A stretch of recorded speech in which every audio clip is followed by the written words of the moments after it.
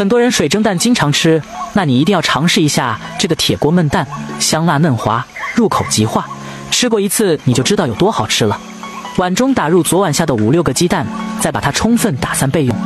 锅热来点猪油，把猪油炒化后，这个时候一定要关小火，放入一勺辣椒面，炒香，加入蛋液一点五倍的清水，调味只需加点盐，不要等水开，立即把打好的鸡蛋液倒进锅里，边倒边搅拌，最后扣盖，记得一定要开小火焖六分钟左右。出锅前撒上葱花，像我这样用铲子切开，像豆腐一样嫩滑。学废了你也收藏，回家试试吧。